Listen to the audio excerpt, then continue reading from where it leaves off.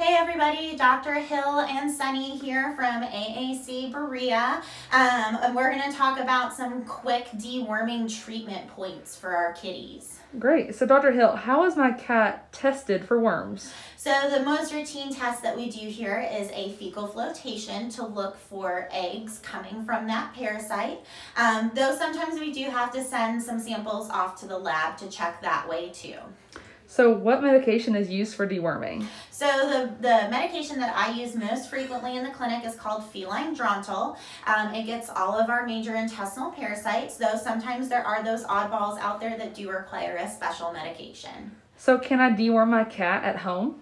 Yeah, if you're if you're comfortable pilling your cat at home, um, then we can definitely send the dewormer home with you. Um, or my other recommendation too is keeping your cat on a monthly preventative. I like Revolution Plus because it covers everything, and that's a topical that you can put on at home, and that way you know your pet's protected year round. So how often should my cat be dewormed?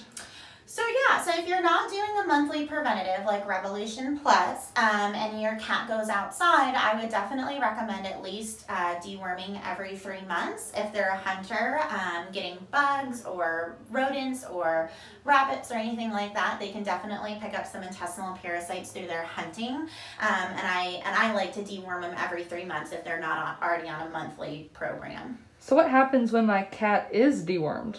So the dewormer that we're giving is killing the worms that are in there and it's the adult stage of the worm. So sometimes you can see those adult worms pass in the stool. That's not uncommon, but not all of these worms are visible to the naked eye. So some owners do and some owners don't.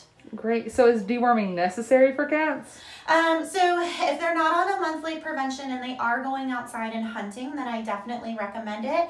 And they can even hunt inside too. I know some indoor cats, they get some crickets and things that find their way into the house and they can definitely pick up parasites that way. So I'd probably recommend it for all kitties. So what would happen if my cat isn't dewormed?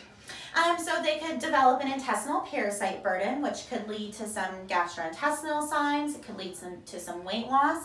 Um, could lead to some other things. And so it's an easy thing to fix, um, and it's generally an easy thing to test for. So we're happy to, to check your pet out if you want to call and make an appointment. All right. Thank you so much. You're so welcome.